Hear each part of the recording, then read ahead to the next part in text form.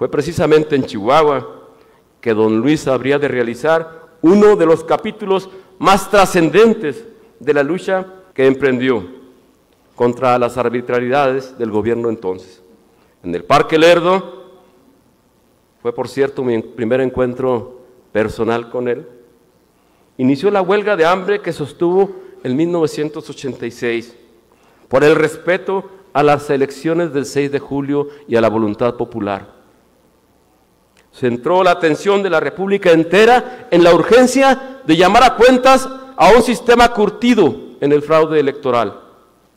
Fue en este sitio, en el Parque Lerdo, al lado del Paseo Bolívar, a donde llegó Eberto Castillo, presidente del Partido Mexicano de los Trabajadores, a convencer a don Luis a que se suspendiera el ayuno.